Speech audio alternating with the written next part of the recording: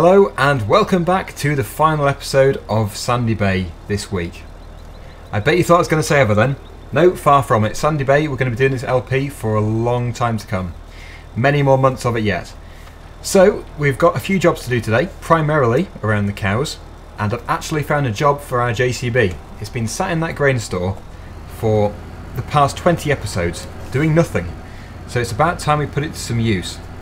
So I actually noticed that the cows, strangely, have got absolutely no feed at all. They have no straw, no water, and no feed. I don't know why this has happened.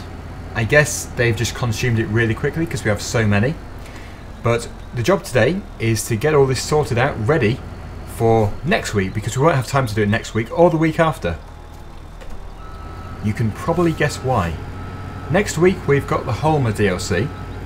We're going to be using that probably for three episodes. Um, and then the week after that we'll probably be doing our oat harvest. So we won't be doing it then. So we need to get this out of the way now. They obviously need to be fed.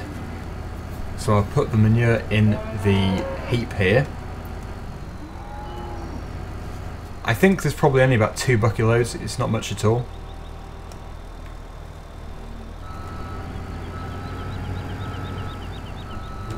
And once we've done this, I've got the New Holland set up with the blue bale trailer.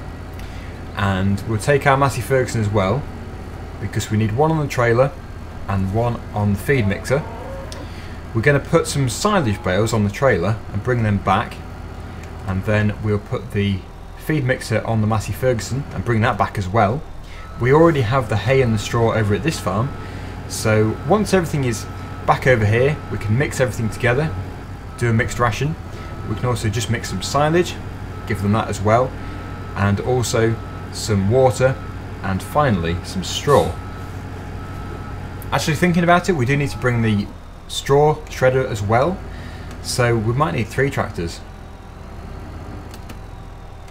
But that is them mucked out for today. They weren't too bad, surprisingly, because we've got a lot of cows and they've consumed all their feed. So they they obviously just digest it all. Don't really poo too much of it out. Anyway, let's put this back up here. And then we'll have to sort out another tractor. We'll have to use two Massey Fergusons and one New Holland. And get all this sorted out. We'll bring everything back. And pretty much go from there, I think.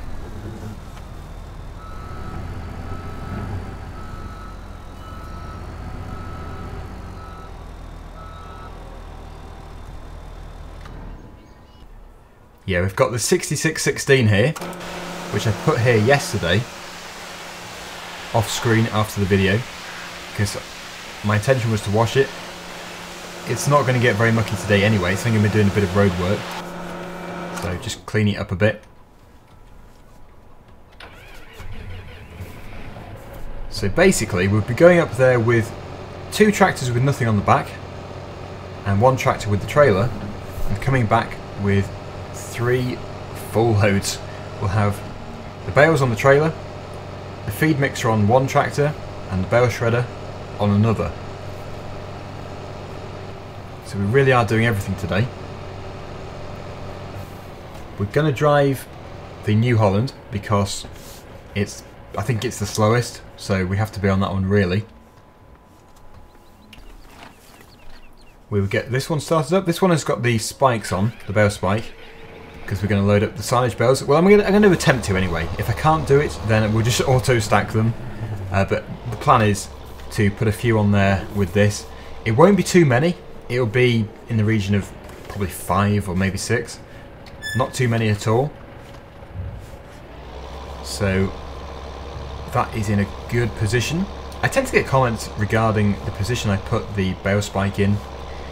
But you see, a lot of people I think a lot of people do travel down the road with it like this. Let me just position it like that. Which I guess is okay because you're not going to prod anyone. But um, yeah, the way I was told to do it was to do it like this. Obviously not too high because it'll make it really unstable. But yeah, that is the way I've done it before and it was fine. I didn't flip the tractor at least, so that is a bonus. So yeah, I think there's two ways of doing it. It just depends how you've been taught to do it. So, we've got everything. Let's begin. We'll put the beacons on.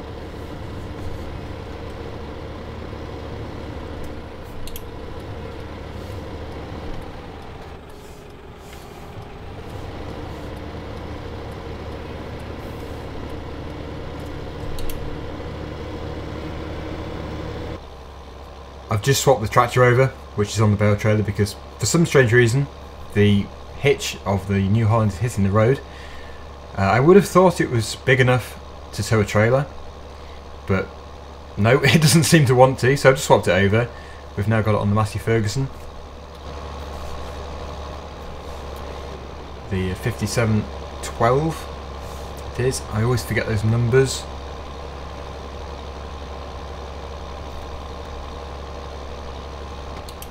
Red lights as usual.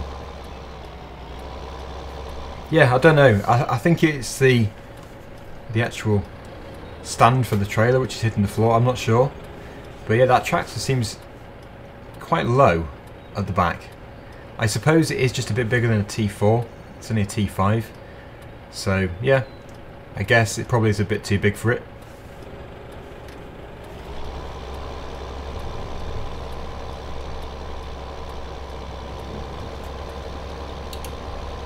They should get round there okay. Okay, we're back on track. It did the usual trick of getting stuck at the traffic lights, but it has rejoined us. And uh, yeah, as long as the bale slacking goes okay, then uh, the jobs today shouldn't be too painful to watch. Uh, I, what I'll probably do anyway is lock them on so that they don't come flying off, even if we do manually load them. But it could still be automatically loaded yet, we'll just have to wait and see. Uh, but if I position the trailer in a good enough position and then use the spike appropriately, then there shouldn't really be any reason why they would fall off or not go on at all. There was the strange issue with the square bales where they were bouncing off, but these probably won't do the same thing. So here we are. I'm going to reverse in. I have to stop the follow me for the other two.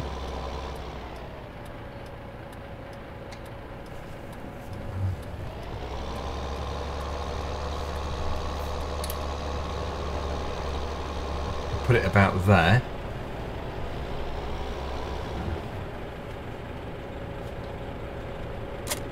Which means that now the New Holland will be towing back the bale shredder, which might be a more suitable implement for it anyway. It won't be as big or as heavy. So let's just get this tractor onto the trailer. I tend to attach them first because if you don't do, sometimes they the bales actually jump up when you attach to the trailer. So I, I always attach another tractor to the trailer first.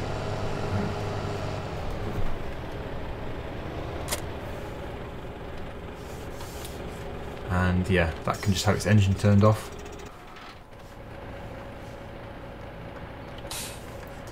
Let's begin the process of putting the silage bales onto the trailer.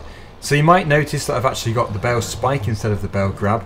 That's because it doesn't really matter that we're going to spike them. They're going to be opened up anyway.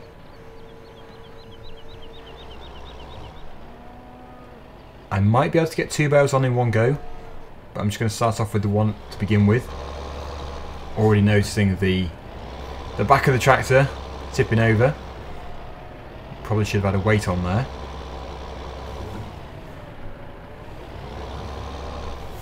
But yeah, if there's two bears, if we have one on each side, they should uh, counterbalance it and should go on there a lot better.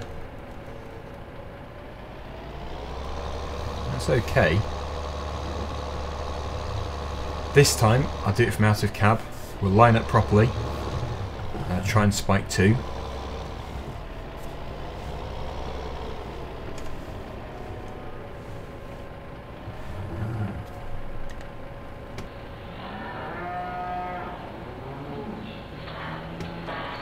Well, that's both in. Now it might just be a bit too heavy for the tractor.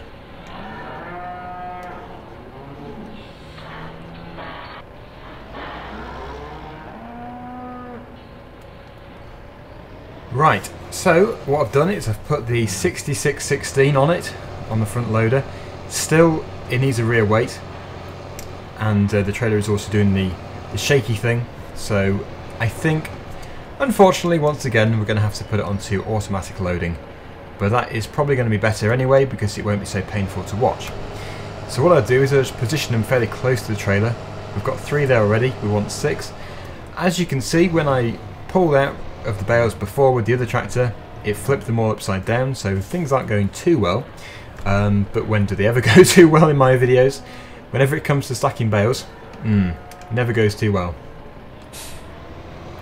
But if I take it steady, this tractor is okay. But I'll have to make a note to myself that these tractors require rear weight whenever you're moving bales.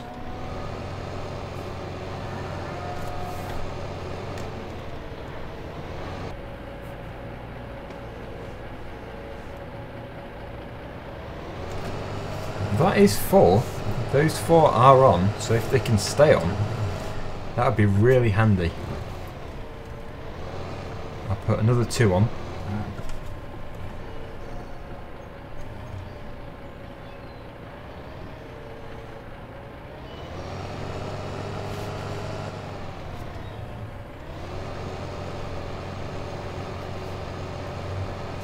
And then we'll strap them on and they should be okay.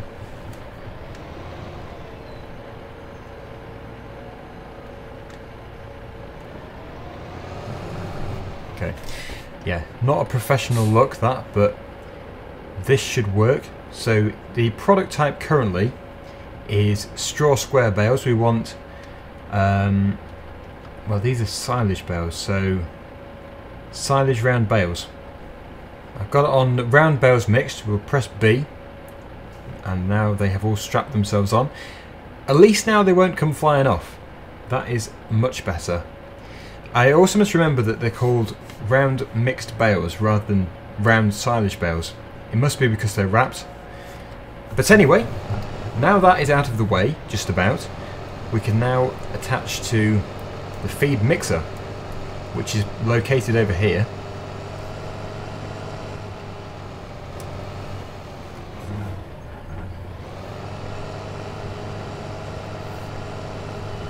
And then I just need to find the bale shredder. I hmm. think it's the other side of the road.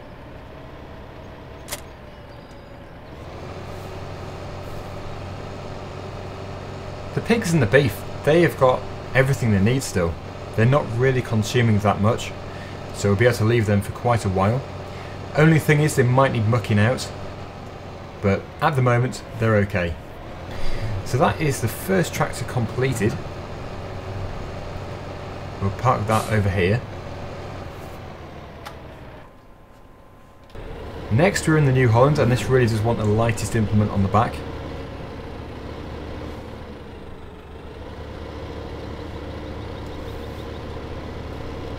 The bale shredder is over here.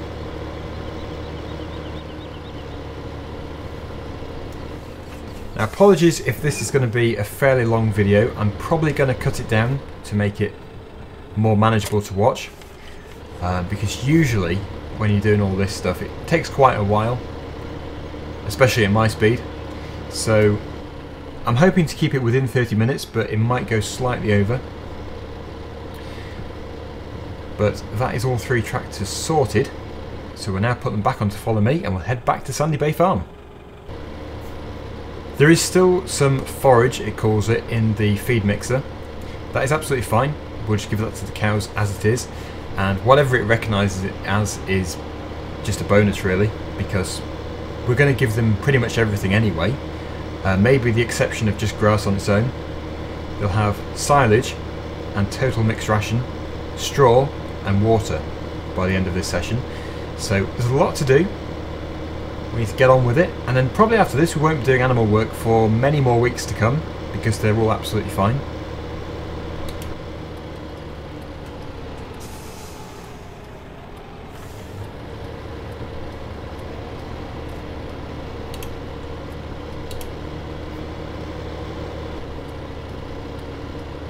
lights green. That makes a change. Now I just have to swing out more because of the bale trailer. Now it was pointed out in yesterday's comments, quite rightly, that I shouldn't add the money which was used on the roller yesterday in the XML file because because it has technically fertilised the field it means we now don't have to fertilise it or spray it which would have cost money so instead it has actually done everything all in one so yes it, it would have cost us fertiliser which we're now not going to have to use so I have actually decided to agree and I have not added the money back I think that's for the best, really. You know, I tend to say that realism is what I want to do in my videos. Like I said before, there are always going to be occasions when I just don't realise that something is done the way it is, um, or if I just accidentally do something wrong. But yes, if you ever have any serious suggestions to improve the realism, um, then yeah, that'd be good to hear. Like that comment, it was actually very constructive. It allowed me to see that the best thing to do is to actually leave the money as it is. Now, um, let me concentrate. We need to um, actually go out of the way here because we're not going to use this tractor first of all. We're going to use that one over there, followed by the one which is coming very slowly behind. Uh, this one is last, so we'll turn it off there. You may notice the beacon is staying on. That is a new mod, the Auto Light mod. Uh, I'll link it below so you can download it. Same people or same group of modders as the uh, manual ignition mod, Vertex Design.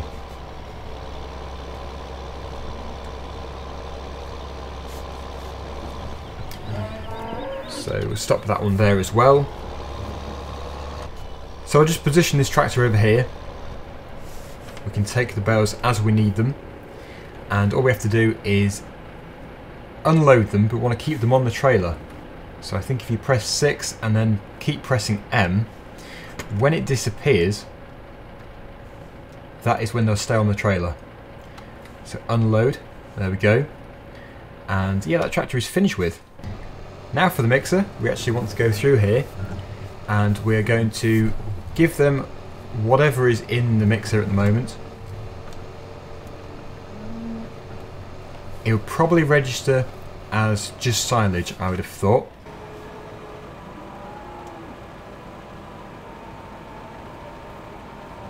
Just see what that is actually doing. Cows.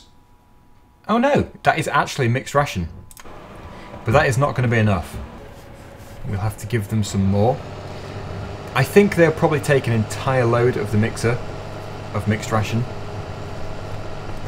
So that is half. It might be worth just doing the silage to begin with because then anything that's left over we can just leave in the mixer.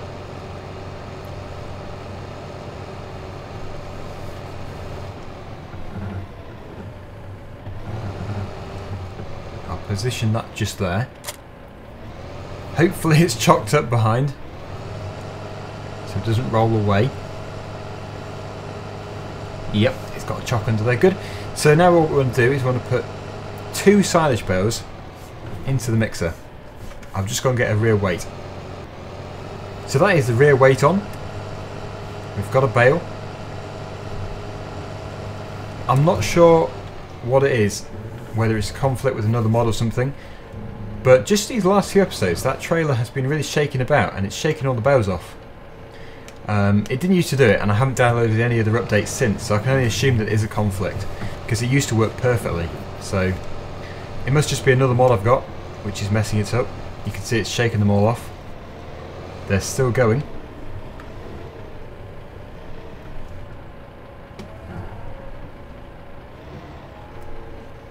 I suppose my offloading skills aren't that good either.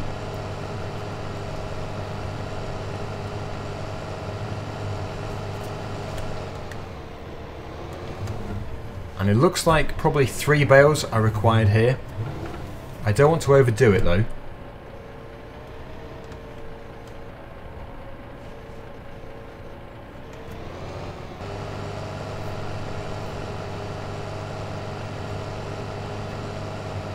It's our pet pigeon or whatever it is. Turkey.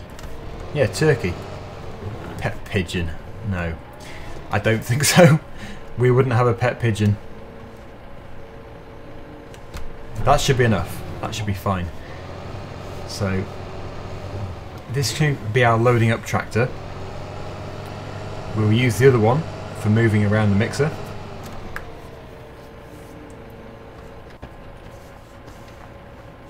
Yeah, definitely a turkey.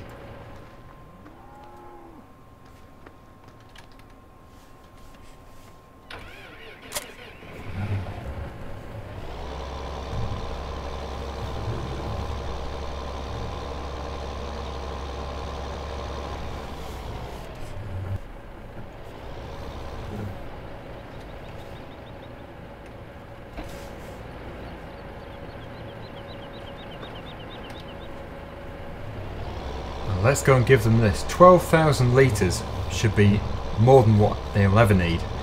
Because their primary feed, I think, is the mixed ration. So this is just like a bonus for when we forget to feed them. All to do with balanced diets, I guess.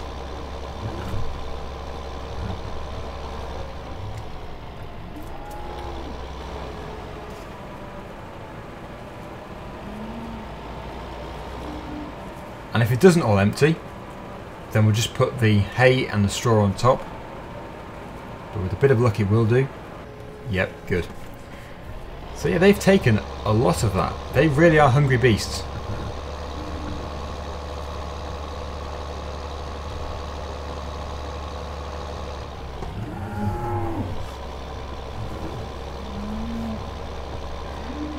This time, we'll give them the mixed ration and uh, I think I've shown it many times before me loading this so I'll just get it all loaded up and then we'll give it to them. And then after that we'll do the water. And then finally we'll do the straw. There we go. All done. Hopefully that is a good mixture. It is registering as mixed ration. And I have done it the way that everyone told me to do it so should be all good. It's only 88% full but they've already had about 52% so it should be fine. We're starting to lose the light a bit. It's going dusk. I want to get this done. When we've done this, I'll have a look at the statistics and see how much they've got of each type. Um, yeah, 25,753 litres of mixed ration.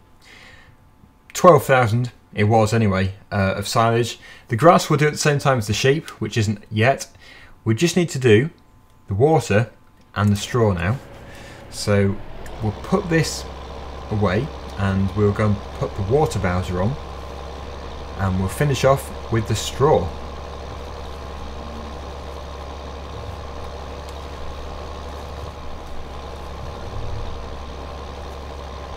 Do need to tidy up those bales. They have all either been pushed off by me or shaken off by the trailer and uh, yeah I need to turn the beacon off as well for that tractor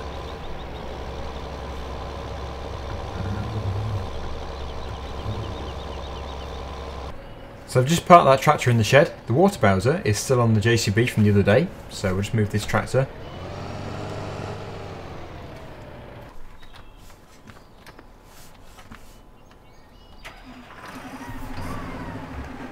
It's got 17% in there. We're running a bit low on money. Apparently you can fill this up from the river, but the nearest river to here is I'm not sure, you know. I don't know where the nearest river is. I think it might be easier just to fill it up from the water fill point, which has moved.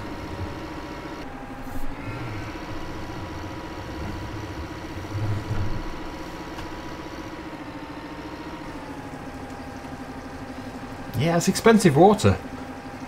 Must be mineral water.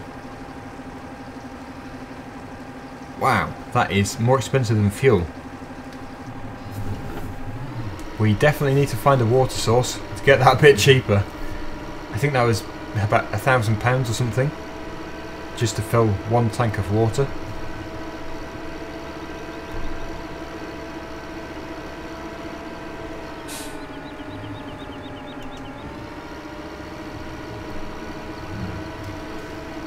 And yeah, there's a certain side you fill this from. I think it's the back. Seems to remember it's the back. Is. And I would guess that that will take pretty much all the tank. I would have thought it would take it all. The cows do take a lot.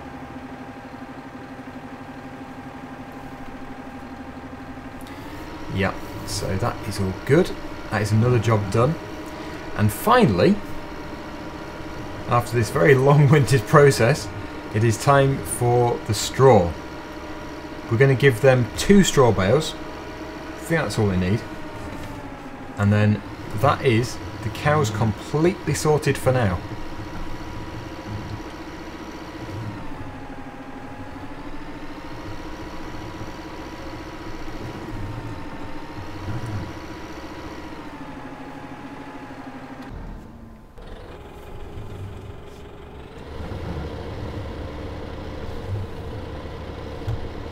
So this is actually a good opportunity to use this properly because I tend to have it sloping backwards where it doesn't actually work. This time it's sloping forwards so at least it won't actually roll out of the shredder. There's our bale. All sorted. Now I just need to hope that it's going to roll in and not ping and fly out. Good. So here comes bale number one. We should probably go in the other way actually because it's going to throw it the opposite direction.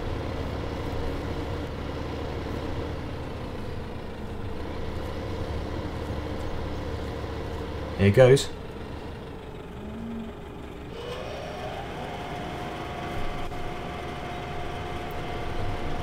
They should really appreciate that. And now just one more.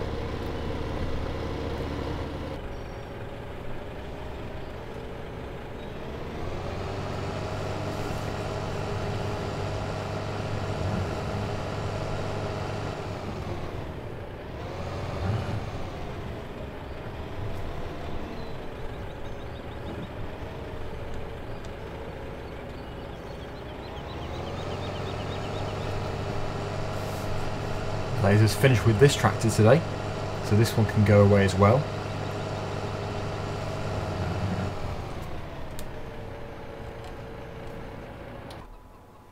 And finally, let's get this thing lifted up and given to the cows.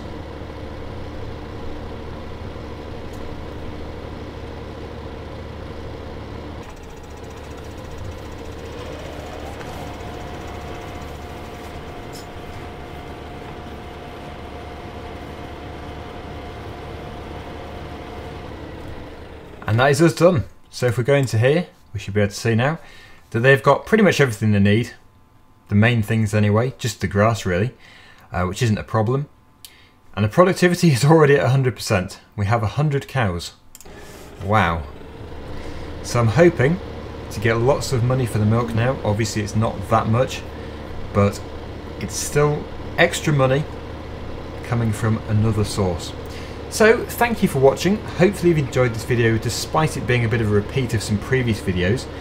Um, there's not really any other way I can do the, the feeding of the cows, um, but we won't, be able to, we won't have to do it again for a long time. In fact, every animal is sorted. So that'll be it for the animal work for quite a while. Anyway, thanks for watching. Hopefully you did enjoy the video and I'll see you again soon. Bye for now.